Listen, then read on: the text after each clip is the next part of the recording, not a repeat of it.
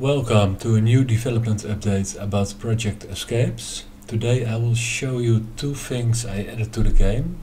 The first one is the teleport function and the other one is the wall hack.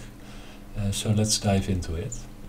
There's now an option uh, in the editor where you can press the O button uh, to make a wall um, yeah, looks thick but you can just walk through it.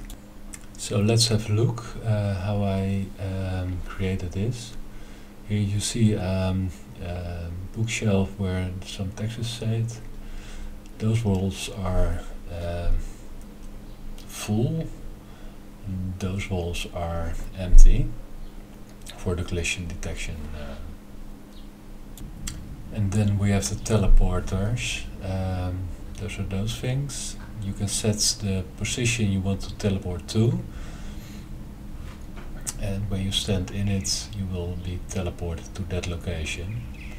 Um, so every teleporter has its own properties where you can uh, teleport to. So that's it for today. Have a nice day and if you liked it please hit the like button and subscribe for more uh, project updates. Hope to see you soon. Bye.